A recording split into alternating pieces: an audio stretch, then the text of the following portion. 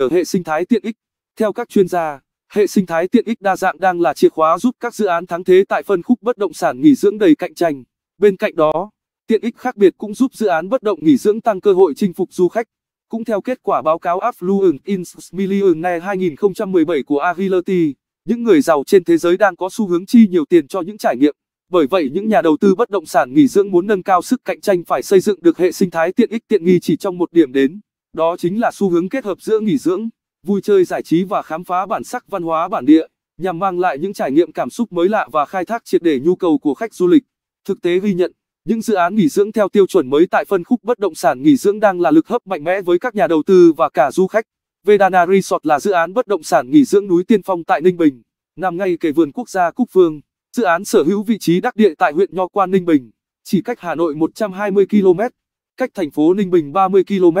Nhờ vị trí này, Vedana Resort đang được xem là dự án tiềm năng đón đầu lượng khách du lịch tại Ninh Bình trong thời gian tới, mang đến cơ hội sinh lời cao với nhiều hình thức khai thác kinh doanh hoặc cho thuê du lịch. Du khách nghỉ dưỡng tại Vedana Resort có thể dễ dàng tham quan các điểm du lịch nổi tiếng tại Ninh Bình như quần thể danh thắng Tràng An, Tam Cốc Bích Động, Cố đô Hoa Lư, Chùa Bái Đính, Tuyệt tình Cốc Ninh Bình, Đầm Vân Long, Vườn chim Thung Nham, Nhà thờ Phát Diệm. Một trong những điểm tạo nên sự khác biệt của dự án chính là những trải nghiệm độc nhất vô nhị. Tại đây du khách có thể thỏa sức tham gia các hoạt động vui chơi giải trí, khám phá và hòa nhập cùng văn hóa bản địa. Dự án được xây dựng với quy mô 16,4 hecta. Các căn condo